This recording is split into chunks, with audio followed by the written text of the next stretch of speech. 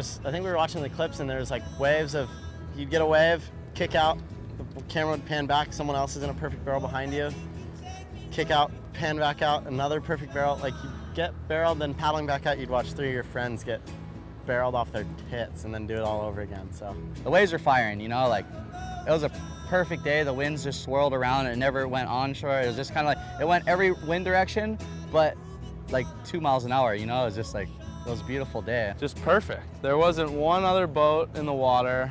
There wasn't a breath of wind for about six or seven hours. And then when it did come, it was straight offshore. And in the morning, it was oil glass and four to five feet and coming from the exact spot you want to come from, almost like a video game.